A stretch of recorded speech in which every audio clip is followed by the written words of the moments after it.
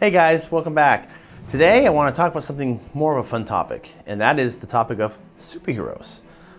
Mainly, a question I had growing up as a kid and early teens was like, how come we don't see any superheroes in real life? You know, we grew up with comic books and Superman and Batman, and of course the Marvel Universe is extremely hot right now, but it's like, why don't we see superheroes like that? So today we're gonna explore this topic and analyze just what would it take to become a real life superhero.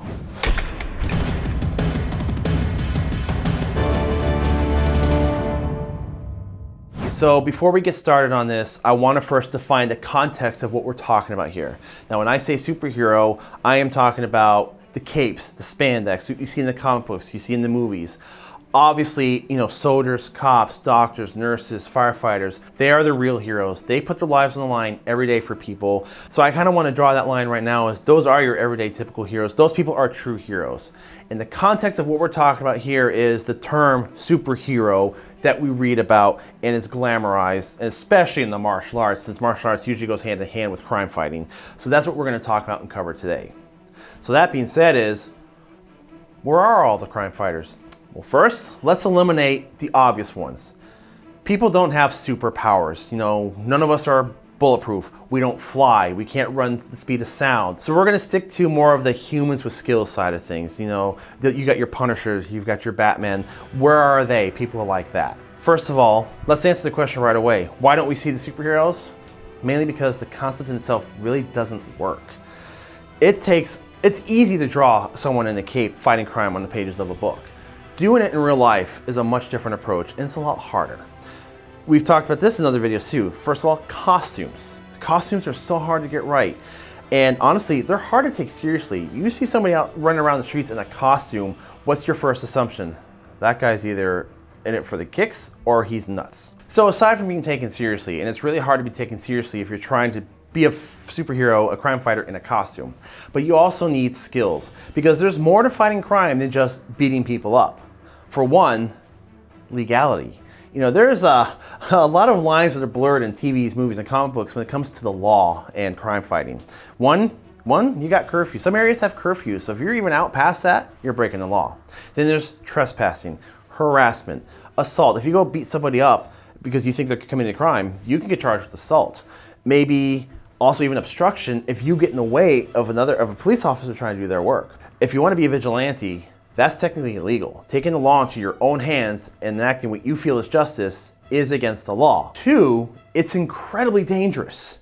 So it's one thing to want to inspire people, maybe clean up a neighborhood and lead some foundations or charity work. It's another thing to walk up to a drug dealer on the street corner in a bad neighborhood and say, hey, get out of here, evildoer.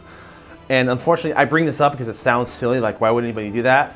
I've unfortunately seen a lot of documentation of people doing that. There are people out there who do try to be superheroes. Uh, you know, we're talking about how the concept doesn't work. Doesn't mean people don't try. You can look online. All you have to do is Google real life superhero and you're gonna find a plethora of people who are trying this and like, and you're gonna find out what I mean by how hard it is to be taken seriously in some of these costumes. Now people might also ask, well I don't want to be necessarily a crime fighter, but I want to save people from accidents and help people. That's great, that's admirable. But my advice to you is if your goal is to run into a burning building and pull someone out that's hurt, join the fire department. Get the proper training and the proper equipment. The only costume you should be wearing in situations like that is flame retardant and a helmet with a hose. And most importantly, let's, let's look at the whole concept of superheroes. Theatrics. Theatrics, theater, is made for entertainment comic books, superheroes are entertaining to us because they kind of play and they glamorize values that we have. We want to see justice served, we want to see good prevail. But let's separate this into drama and then trauma. Batman beating up the Joker is drama, it's exciting, it's fun. A cop beating up or shooting a suspect is trauma. That's not fun to watch. Would you let your kid watch that? You know, uh, uh you know, most parents will let Batman watch a kid watch Batman beat up the Joker, but would you let your kid watch a horrible video of somebody getting shot in real life? No, because it's not made for entertainment. It's not fun. And honestly, if you find that entertaining, then please go find another channel to watch because that's not what we that's not what we promote here. There is a big difference between what works in theatrics and what works in real life, and that's just the hard truth about that. Okay, so now that I've poo-pooed all over the topic so far about that, let's talk about where the concept can work. Can you be a superhero in real life? Well, that depends on your objective. Let's look at someone like Batman since we talked about Batman a bit. What is Batman? He, what was his goal? Was to become a symbol. There's a lot of ways to become a symbol. And if you want to go the superhero route, there's a lot of people who do go to children's hospitals in superhero costumes. Yeah, you're not out there fighting crime, but you're being a hero in that moment to that child. So if you really have the urge to patrol the streets at night, do it safely with people, neighborhood watch group, and call the authorities when something happens. Don't just go running in there guns ablazing or, or fists flying. Just, you know, you, you want to be the next Batman. So be smart about that. So as I mentioned earlier, if you Google the term real life superheroes, you're going to find some really interesting websites out there. But that being said is there have been some notable attempts. The first one I ever encountered, which is kind of funny, because when I asked myself this question years back, why aren't there any real life superheroes? And I actually Googled the name real life superhero, and I found a guy named Angle Grinder Man. And I'm like, what the heck is this? Angle Grinder Man looks ridiculous. He wears the blue tights, the gold shorts, the gold boots, the mask, and all that. But basically, he calls himself a social activist and he's over in the UK or was I don't believe he practices anymore but they had a problem out there with the corruption with like parking enforcement and, and you know a company a private company putting boots on cars. So he offered the services of if your boot a boot was put in your car and you felt it was unlawful call him. And he came out there with an angle grinder and he cut it off. But again we've crossed the line of legality. You know he's taking that risk. If he gets caught he goes to jail. But I just thought that huh and that actually kind of started me down the rabbit hole of researching the real life superheroes because I'm like, if he's doing something like this, who else is out there? Another notable attempt worth mentioning is Captain Jackson out of Jackson, Michigan. Now, on first appearance, you look at him and he kind of looks like the poor man's version of the Adam West Batman. But the truth is, he actually took the approach of more of a community service. He did neighborhood watches. He went to fundraising events. He tried to be the symbol of good. And yeah, he wasn't scaling buildings and beating people up, but he was at least trying to make a difference in his neighborhood and in his city. So, and he got some notable attention for that. Then we also have Super Barrio, and this is the example I'm talking about being more of a symbol than being a crime fighter.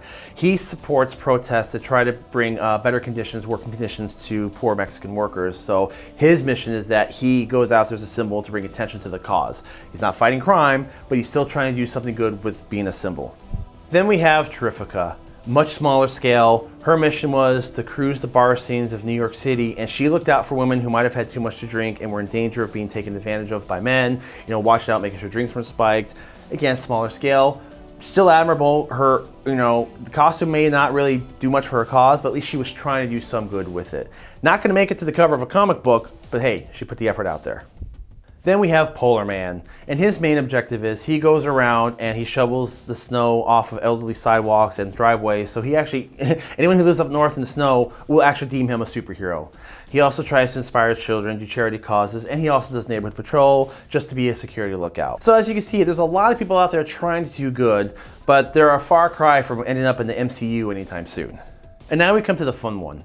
This is, um, in all my research, the closest I have found to an individual becoming a real life superhero, or I believe as close as one can become to becoming a real life superhero, and that is a guy by the name of Phoenix Jones. The reason he's such uh, a, an interest to me is his story, how he developed, what he does, his approach to stuff, the mistakes that he learned from.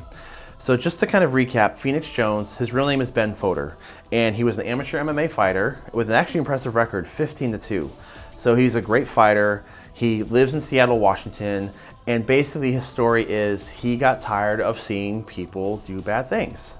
He had a lot of experience fighting growing up. He was a Taekwondo champion, you know, MMA fighter. He also claimed that he's a, he's a bowling champion, and he says you'd be surprised how many fights you get into in the parking lot. And he found that he had good fighting skills.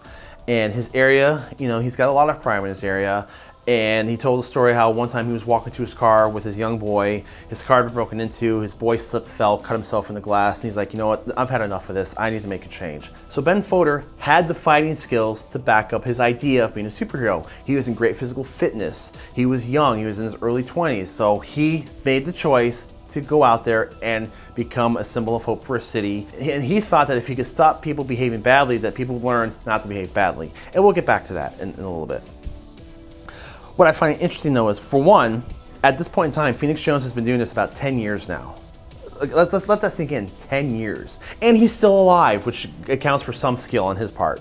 But what I find interesting was the limits that he hit. Everything we talked about up to this point, he encountered. He thought, oh, I'm going to scale the rooftops. I'm going to swoop in to stop a crime. I'm going to be able to go and find a crime any around any corner. I'm going to wear my super costume. He tried all that. And he actually, I'm going to recommend um, a podcast, and also I'm going to show some quick clips. There's a, if you Google his name, you're going to find a ton of stuff online. I'll show you some quick clips and pictures, but I'm going to put a bunch of links in the description to watch more videos. There's a, there's a lot to look at here. And I recently heard and listened to a, a, really interesting podcast by the NW Nerd. Links in the description below. It's an hour-long interview with him, and it's fascinating. It really, it's really worth a listen. He talks about his whole life mission. He's kind of jaded at this point, which we're going to get back to, but he talks about his motivation at the beginning to where he became now, and it's it's really fascinating. So he describes that he actually wore this really cheap tuxedo that was that he could tear away and he had a horrible costume underneath it. He describes it as a Count Chocula type costume. He would climb the rooftops and he would sit there on the fire escape and wait and watch. And nothing happened. And nothing happened. He says it took a couple weeks before finally there actually was a mugging taking place. He goes, all right, this is my chance. I'm going to swoop in. By the time he took his costume off, he got tangled up in the suit. He tried to take the tuxedo off. He goes, it took him five minutes to climb down the fire escape. By the time he got there, the woman was like, well, the guy already left. What the hell are you wearing? So he realized, oh, that doesn't work. The guy got away. He even tried to chase him down. He, the guy got away. It didn't work. So he's like, all right, the rooftop thing is out. Then he did this patrol for a while with this costume, and people made fun of him because, again, you can't take someone serious that's running around in a costume that looks like that. You know, millions of dollars go into the movies to make these costumes look good. Most people don't have that resources unless you're a professional cosplayer, and even then, the costumes aren't practical. He said he even tried making a net gun and it didn't work. He got tangled up in it. He did the secret identity thing for a while, and all, like everything we just talked about why a superhero doesn't work, he tried that and it didn't work. But what I give him credit though was he tried to find a solution around that. So he started to identify the practicality of what he could do and and what he wanted to do. And he describes his first actual criminal encounter, this successful one that he calls, was he encountered a woman who was being mugged and there he is in this cheesy suit. He walked up to the guy and he actually says, he goes, I said, stop evildoer. The guy turned around and stabbed him in the stomach.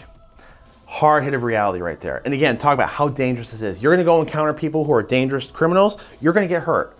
Um, he was able to fight the guy off. The police came, they arrested him, and despite being stabbed, he said he felt motivated, but he realized, what am I doing? I am not protected. So he kind of ditched the cheesy costume and he went for something a little bit more protective. And he spent a lot of money and he traveled and he actually developed the suit that, you know, his, his trademark suit now, which actually kind of looks like something out of a comic book, but it has armor built into it for, you know, stab proofing. I don't know if it's bulletproofing or not or resistant, but he started, every time he made a mistake, he learned from it and he added that layer of protection or he added that tactic and he just kind of built from there. And again, over the past 10 years, he's been adding to this experience.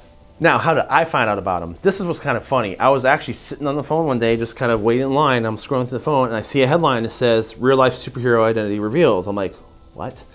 What happened was he was patrolling and the one smart thing that he does is he wears a camera and he's always recording everything he encounters. So apparently he found a, a fight um, happening outside of a club and there were a bunch of people in the big brawl. He went out there trying to break it up. He claims he was attacked. He pulled out pepper spray, sprayed one guy. The mist got around. Other people were sprayed. A woman started attacking him. It became this big issue. The cops came. People were arrested. He was arrested because they, they, they tried to accuse him of assault. He went to court. And basically what happened was in the courtroom, the judge said, you're gonna have to reveal your identity. You know, you're gonna have to take your mask off here. And charges were dropped because the video proved that he, he was not guilty of assault. But that day, he walked out of the courthouse with his lawyer, and something you'd see out of a comic book movie. He walked right up to a podium, surrounded by press, said, Okay, I am Phoenix Jones, but in real life, I am Ben Fodor. And in the dramatic Batman move, he took his mask and he pulled it off and he revealed his identity because it was going to come out anyway. But he wanted, he made the theatrics out of it. And from that point in time, you know, he became a media sensation. I you know, I'm in South Florida. This guy's in Seattle. Washington, you know, you can't get any further apart in this country. And here I am uh, getting all these articles about him. So I started to research him. And over this time, he got big, big. He became larger than life. He became that symbol, at least to some degree. He's got photo shoots with him on the rooftops. They did documentaries about him. They made comic books about him. He's got a theme song even, which is really bizarre. And he started to use that status for what he felt was his own good. So he started what was called the Rain City superhero movement. And what that was is he gathered other people like-minded to do community patrols. And when they found a situation, they engaged. He did more research and effort and his group was trying to be a little bit more proactive and less vigilante. Like he's actually against the whole idea of being a vigilante. He's very much about working within the law. At the time, he had a wife named Purple Reign. She was a victim of spousal abuse. So she had her own movement going for women in abusive relationships. So he put together this team effort. And when he was asked, well, did you guys just go run around the streets looking for crime? He goes, no. He goes, we had to be smart about it. He goes, he learned before, you don't just sit in the rooftop and wait for a crime to happen. He goes, first they eliminated the crimes they can do nothing about, the bigger stuff you know, you know, bank robbers and all that. He's not going to go run into a bank robbery and even trying to find that. He goes, we had to eliminate what was practical. Then he goes things like breaking into a house. If someone's house is getting robbed, he goes, well, I'm not going to go break into the house as well, and then you know possibly get caught by police or, or you know get shot by the homeowner. He goes, we tried to be more practical. So what they did though was they worked with community people. They set up surveillance. They would know any, they would listen to police scanners, they would know any suspicious activity, so they would narrow down likelihood and scenarios, and if something happened, then they would engage. And by engaging, they called the police. First and foremost, they'd call the cops and they would try to keep the situation stable. So if it was a fight, they tried to keep the people separated. They tried to keep things calm until the cops could get there. And then when the cops got there, he would give them whatever footage he had. The cops didn't like him very much at first, and there's still probably some that don't, because in their minds, here's some guy in injecting himself in situations he had no business being in. And for the longest time, you saw the cops that the police chief was outspoken against them. They were discouraging it. But over time, you saw that they were starting to work with them a little bit. They kind of they had some team efforts in place. So again, an interesting evolution to his story. So going back to the podcasts, they asked him why didn't he just become a cop if he wanted to fight crime. He felt he felt that sometimes cops do get special privileges, and he disagreed with that. But that being said, he goes, I have no authority. He goes, here I am showing up to a situation that I have no business being in. I have no authority to be there, so I have to find a reason to have the authority to be there. So he does everything by the law. And here's where I think he was really smart. He studied the law. He, I mean, with a fine-tooth comb, he went through his state's laws to know what he can and can't do. For example, he said, with, with, if you see a man abusing his wife, you can't go up and attack the man. That's assault. What you can do is you can step in between him and her, and if he swings at you, well, now it's self-defense. There's little things like that that he had to know to make sure he stayed within the letter of the law. In his state, they have a law called mutual combat.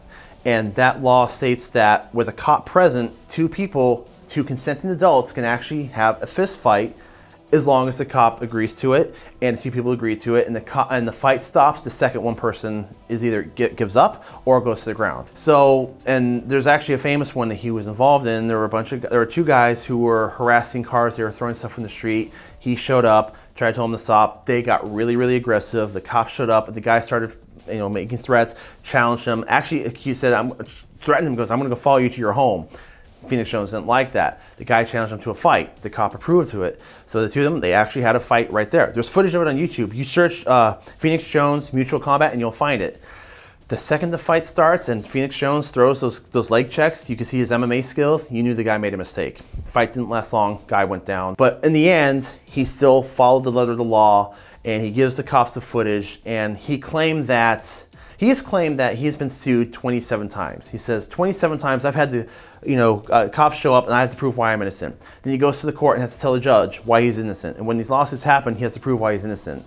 He has actually not been charged, or he has not been actually uh, convicted of a crime. He's been, he won all 27 of those lawsuits, and he credits that with understanding what he is allowed to do and not overstepping that boundary. His, his idea was, he goes, if I'm going to become a symbol, I have to show what a citizen can do within the law itself. Use the law, not skirt the law. But as he became more popular and bigger, he actually had sponsors. I know one company came in and they actually gave him a shield, a ballistic shield that he carries around.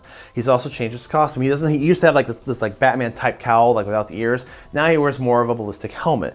So his costume's gotten more practical over time. It's really more security and safety based and, and allow better vision than what it was more theatrical before. During this time, he went back to his MMA fighting and went pro. And professionally, he's 11 and 3 and in the draw. So that's still a pretty good record. And if you look up Flat Top, he went by the name Flat Top, you can find footage of him fighting there. There's no doubt this guy is a good martial artist and he has the fighting skills to back it up. But all that being said, does he actually fit the bill? Would you consider him a superhero? I mean, he's got the costume, he's a skillful martial artist, he fights crime, he does a bunch of community service, you know, there's comic books, there's theme songs, so what exactly is he missing? Why is he not the superhero that we know superheroes to be? Supervillains. Supervillains like in the comic books don't exist. It's about theatrics. The supervillains today, honestly, a real life supervillain, you know, are political, they're mafia, they're big end business. Nothing you're to punch. You cannot stop a mob by strapping one of their dealers to a to a spotlight and shining a shadow in the sky. That's not real life. But we all explain that we don't have the jokers out there. Well, one guy tried.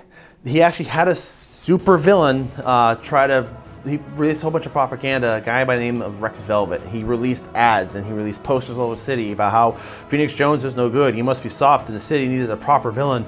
In the end, it was nothing but smoke. It was theatrics. But you have to ask, you know, like I said, you, it's hard to be taken seriously when you go this route. So he had people like this come out trying to be the counter symbol. It was lame and it got silly, but this is what happens when you enact in theatrics. The biggest thing that's missing is fulfillment. When you listen to this podcast and you compare it to like when you read or you watch early interviews with him at the beginning when he started, he was super motivated, he was super energetic, he had a mission. You hear him now and he sounds defeated. He's been doing this for 10 years and he says he's not seen the change that he wanted to see in people. He goes, I was supposed to show them a better way. He goes, people were supposed to get better. He goes, they're not getting better. He thought that if you beat up bad guys, you know, in his youth, if you beat up bad guys, then people stop doing bad things. But the real world doesn't work that way. Violence begets violence. If you go out there punching people for justice, you're just gonna create more violence. You don't inspire people by running around at night beating other people up. You know, you're not gonna stop a bully because you beat him up. They're just gonna go, the worst they're gonna do is they're gonna go to a different corner and pick on somebody else and not you. You have to get to the root of problems, and that's what he's starting to realize. So basically, systemic problems require systemic changes if you really want to make a difference. You got to go to the root of the problem. It's like if someone has a cut, you keep giving them band-aids. Uh, that's good. You're helping, literally putting the band-aid on the wound, but you got to find out well, what's cutting them to begin with and maybe removing that hazard. It's, it's not, any, it's easier said than done, and it's easy to say, oh, we just got to make a systemic change.